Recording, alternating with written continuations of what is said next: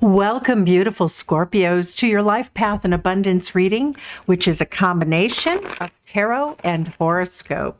So let's look and see what the messages are that Spirit would like for us to talk about during this reading today. Scorpio, let's see. We have breathe. Okay. Breathe. It looks like it's a big month for you, Scorpio. We have new life. How beautiful. She's like waking up from a sleep, a very deep sleep, stretching. Nice and go to the sea. And this is all about being balanced, you know, about taking life as it comes. But you look like you have a great a great month ahead for the month of February. Look at the card that represents you. This is your body. This is how you look to everyone. This is how you're appearing and showing up in your life. This is also Scorpio Ascendant for those who are curious, Scorpio Sun or Ascendant. The Ten of Water, does it get any better? That's happily ever after. The big Buddha with the belly who's happy, the laughing Buddha that is really the culmination for many of you. You might be getting married. You may have met the person that you will marry. Um, you know, for those of you who are married, you're in a very, very happy time in your life. Your partner, if you are in relationship, is very much, you're in an equal give and take energy, the six of earth. You have a lot of abundance here we have that you have a very eccentric partner that you your partner is very you might be very geared to exercising and doing things. You know somebody who comes in and surprises you you know falls down you know leaps on the bed and says let's make love. You know we have this mars and uranus energy. Hot sexy take action energy somebody who surprises you so we see this energy though it's it's a magnification of somebody who's really giving a lot to you right now Scorpio. Now if you don't have this person in your life yet in terms of a marital or romantic uh, relationship. It can also mean that you are uh, you have a new business partner. You also may have someone who is a lawyer, an accountant, a financial advisor, or uh, somebody who is you know, like a doctor. So those are also seventh house relationships. But this looks totally fun. This looks sexy. Eat, drink, be merry, take a step in, go to Vegas, get married unexpectedly. so I don't know what you're up to, Scorpio, but please leave comments below because this looks like a very exciting month for you.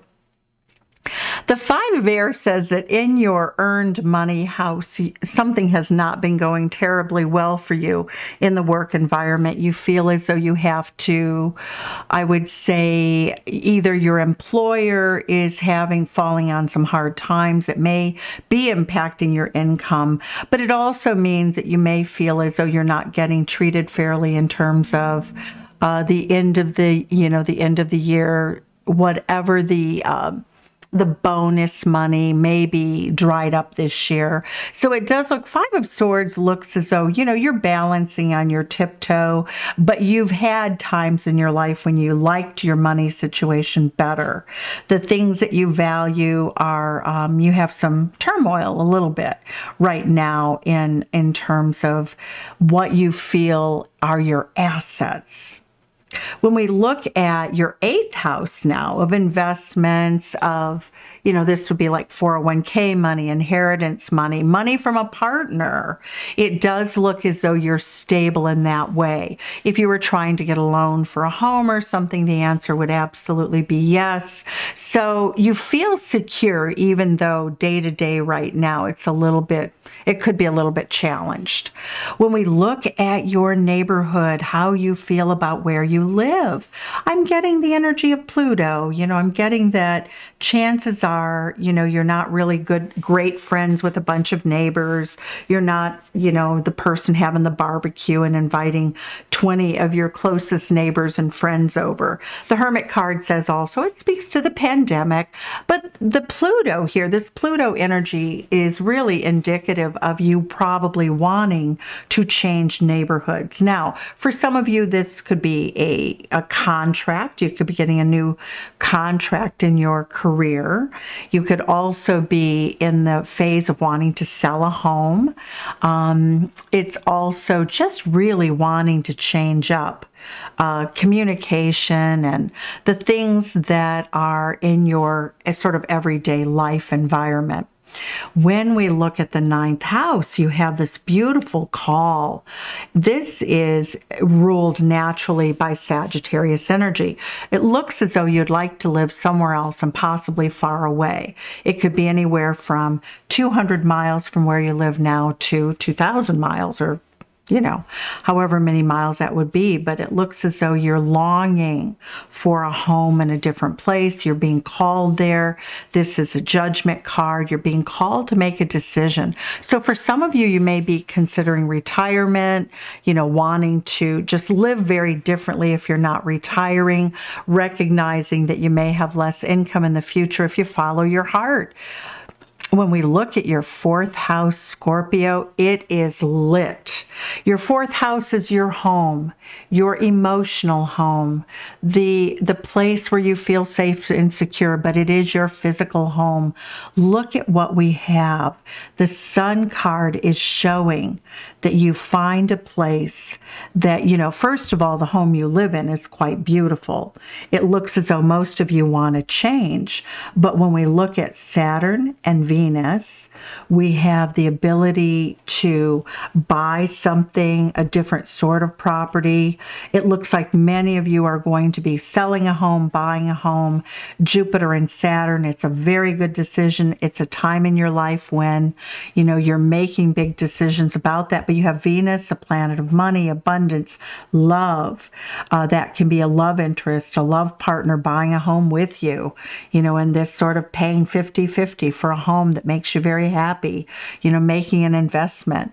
But Jupiter, planet of abundance, Saturn, stability, things that you earn, that you've earned, Mercury, contract, uh, communication.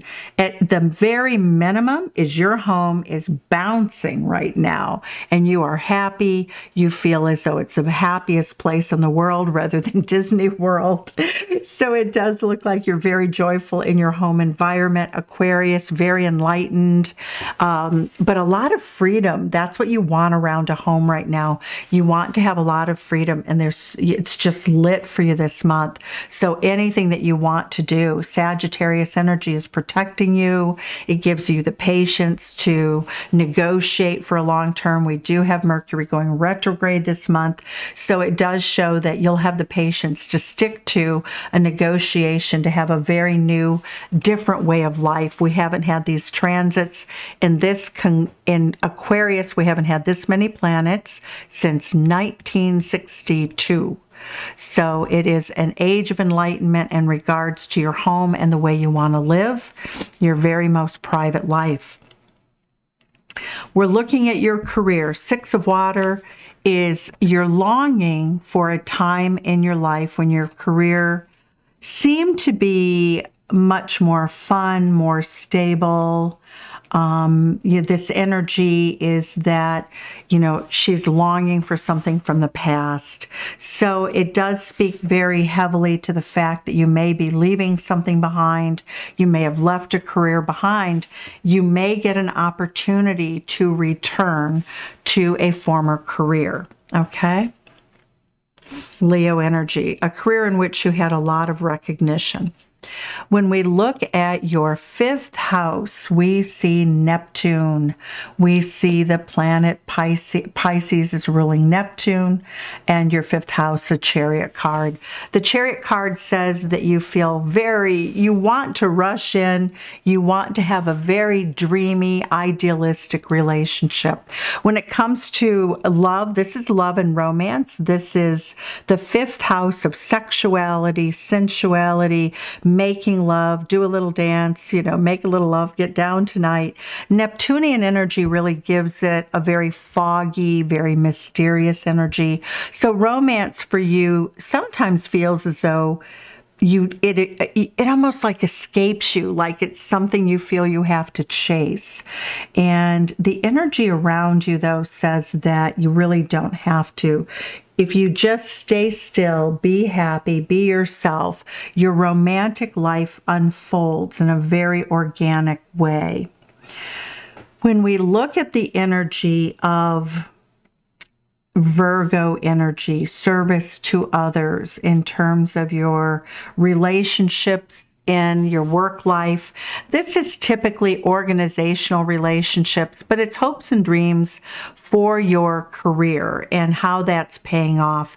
And we really see a transition. Again, I get a very a strong vibe here that many of you are leaving something that you enjoyed very much, that you will miss very much, but I feel as though you're being called to it. I feel as though you are empowered for this journey that you are on. Because when we look at the sixth house, you are actively closing out a cycle that was very successful.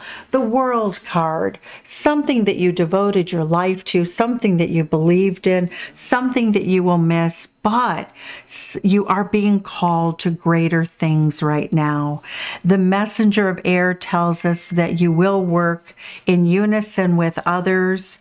You know, you might have a job that works behind the scenes, but you may be partnering with somebody to start a new business. You have a guardian angel protecting you right now, Scorpio. And when we look at the reading, you know, you have a lot of change, but you're making choices. These are actively uh, they're actively put in place by you. They're making you a little bit nervous. Change is can be a little bit nerve-wracking. So we do get that you're protected, that you need to breathe, you know, but look at this. You're choosing a brand new life path. How much more interesting could this be? It's exciting, it's exhilarating. It's a little nerve-wracking, but you have it under control to the sea. Watery energy for Scorpio, Pisces, you know, you have this Cancerian energy that's really calling your heart to something bigger than yourself. When we look at the advice from the Spirit Cat Oracle, we see purification. Meet Calico, the maven of purification. She shows up in our life when it is time to let go of everything that no longer serves us. Long ago, she used to be a sad little kitty and believed that that was just who she was. When she realized her sadness was not her at all, but a heavy cloak that had been she had been wearing for far too long, she let the cloak drop off her shoulders and she felt as light as air. Now she is simply pure being. What old beliefs, stagnant energy, or unhealthy habits can you toss to the wind in order to set yourself free? Well, Scorpio, you've already done this. You've already accomplished this goal because look at you in this Buddha energy. I have goose pimples as I look at this energy. Whatever you're doing, you feel profoundly happy. You feel like it's a new lease on life. Cindy, you love from Chicago. If you'd like to win a free reading with me, please enter the contest. Details and personal reading information is in the description box below. Send some love back. Tell me where you're from and tell me what's happening, Scorpio. Take care. Bye bye.